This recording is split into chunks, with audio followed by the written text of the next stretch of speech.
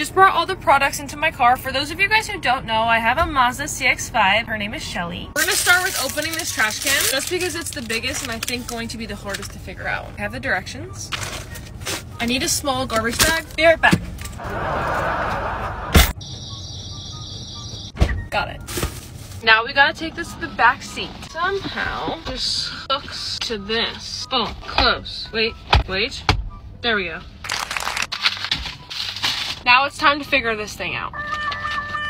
Think I figured it out. My directions could be right here and I can also like vlog when I'm driving. Next, let's see if these fit.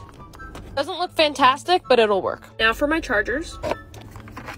And last, a new freshener. These smell so freaking good. Extras and the spray will go in there.